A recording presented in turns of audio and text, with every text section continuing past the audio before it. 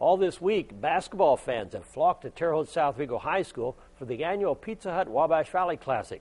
Over the last three games, 16 teams have played 24 basketball games, but those numbers don't even compare to the amount of pizza that's been consumed at the same time. Each year, Pizza Hut sells pizza by the slice for folks to enjoy. The back of the store is really where all the action takes place. They're the ones making the pizzas, putting them out between the drivers, or cooks, or management teams. Uh, each year we use three of our local restaurants to help produce the pizzas that we bring here. In fact, each year we bring over about 10,000 slices to the site. The title game for this year's tournament tips off at 8 p.m.